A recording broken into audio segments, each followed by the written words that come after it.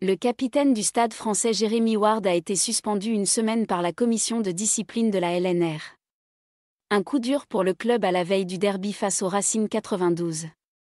Le stade français a été beaucoup pénalisé, face à Perpignan, samedi dernier à Jambouin. une conséquence indirecte de cette indiscipline, c'est que le carton jaune reçu par Jérémy Ward, à la 80e minute de jeu, a poussé la commission de discipline de la Ligue nationale de rugby à le suspendre une semaine pour cumul de trois cartons jaunes. Il ne sera donc pas dans l'effectif pour aller défier le Racing 92.